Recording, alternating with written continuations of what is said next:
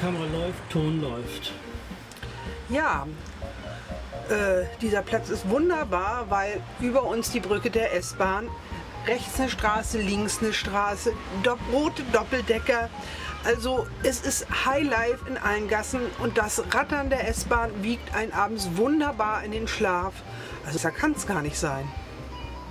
Jetzt muss mal ein bisschen was Positives kommen. Ja, das ist doch positiv. Also ich finde es wirklich nicht schlimm. Also äh, es gibt sicherlich ruhigere Plätze, es gibt sicherlich auch optisch schönere Plätze, aber man hat ein paar Meter zur S-Bahn, eine Station weiter ist man am Hauptbahnhof, schneller kann man kaum in der Stadt sein und äh, ja, was will man da mehr? Vielleicht noch am Strand bei St. Pauli stehen, aber der Platz ist meistens voll.